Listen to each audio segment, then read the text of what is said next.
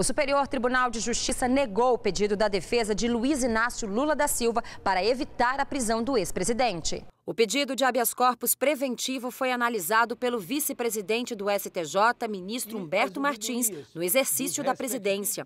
A defesa de Lula buscava evitar a execução provisória da pena imposta pelo Tribunal Regional Federal da Quarta Região. Luiz Inácio Lula da Silva foi condenado a 12 anos e um mês de prisão pelos crimes de corrupção passiva e lavagem de dinheiro. A sentença do TRF4, responsável pelos processos da Lava Jato em segunda instância, determinou o cumprimento da pena em regime inicialmente fechado. O colegiado decidiu ainda que a execução provisória da pena ocorra apenas quando não houver mais possibilidade de recurso na própria corte.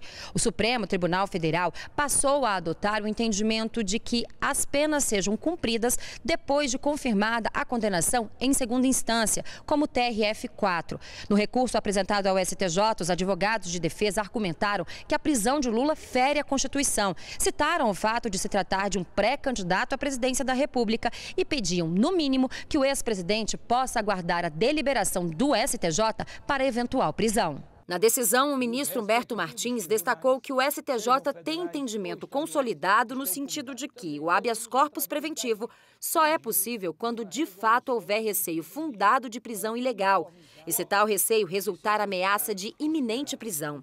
Para o ministro, apesar de a execução provisória encontrar amparo na jurisprudência das Cortes Superiores, esta possibilidade não se faz presente diante da decisão do Tribunal Regional de não iniciar a execução provisória imediata. Diante disso, o vice-presidente do STJ considerou infundado o pedido da defesa de Lula.